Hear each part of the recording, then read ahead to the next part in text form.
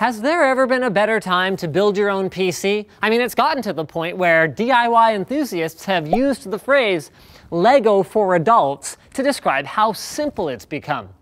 But nonetheless, there are still quite a few common pitfalls that the novice builder, and even some experienced ones, still fall into.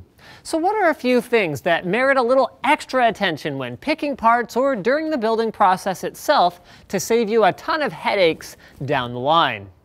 Well, since part of the reason that building PCs is easier these days is because components are becoming more and more power efficient, we will start with a tip on power supplies. Don't cheap out on your power supply.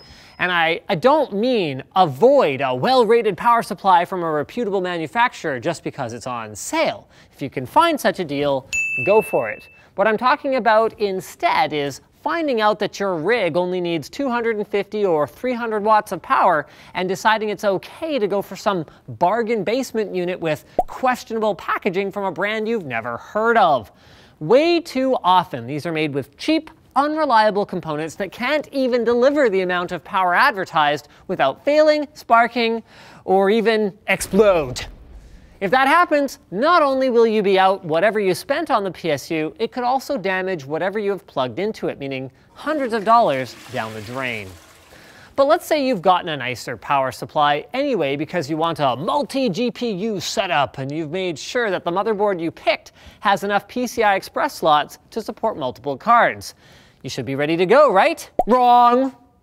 If you're going with NVIDIA SLI, the motherboard needs an SLI certification. So unless it specifically indicates it's compatible with the level of SLI you desire, it probably isn't, even if it has multiple PCI Express slots. But if you're more of an AMD fan and you want Crossfire, things will be a little easier for you as Crossfire technology doesn't need anything other than the aforementioned PCI Express slots.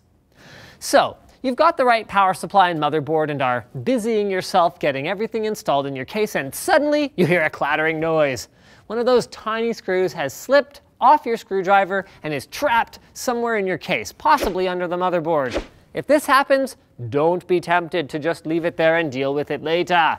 Metal screws conduct electricity, so if they touch the traces on the underside of your motherboard, they can cause electrical shorts that could permanently fry your system. In fact, part of the reason we use motherboard standoffs is to keep those traces from touching the metal part of the case, which prevents electrical mishaps. So make sure you retrieve those loose screws before turning anything on. And by the way, yes, you can use a magnetic screwdriver to do this, as the magnetic force is not great enough to damage your components, even hard drives. Finally, to round things out, here's one from the simple thing that's easy to forget department. Screw in your graphics cards. Many GPUs, especially higher end models, are heavy enough to put a significant amount of torque on the PCI Express slot that they're plugged into.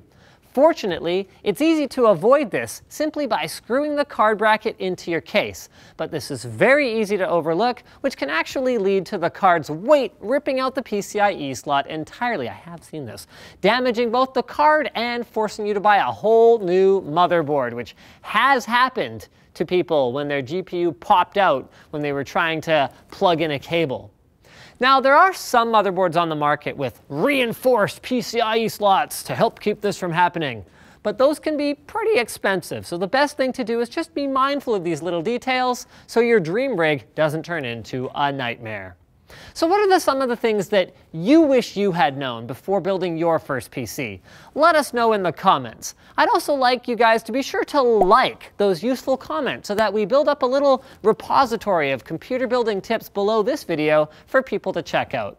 Also, let us know if you'd like to see more computer building mistakes to avoid videos like this one. TunnelBear VPN lets you tunnel to uh, 20 different countries, allowing you to browse the internet and use online services as though you are in a different country. They have easy to use apps for iOS, Android, PC, and Mac. They also have a Chrome extension. And all you got to do is choose a country in the app, turn the switch on TunnelBear and watch as your bear tunnels your internet connection to your new location, which does a couple of things. Number one, your connection gets encrypted with AES 256-bit encryption. Encryption, encryption, not encryption. It's the good kind of encryption. And two, your public IP address gets switched, so you show up as if you're from that other place. They also have a top-rated privacy policy and they do not log user activity. You can try out TunnelBear VPN with 500 megs of free data and no credit card required at the link in the video description. And if you choose to get a year of unlimited data, you can save 10% by going to tunnelbear.com slash Linus. So thanks for watching, guys. If you liked this video, like it. If you disliked it, dislike it. If you want to check out our other channels, go ahead right there. We've got a featured video. It's going to be very good, I promise, unless it's bad, in which case I'm sorry. You can leave a comment with suggestions for future Fast as Possibles, and as always, don't forget to subscribe and all that good stuff.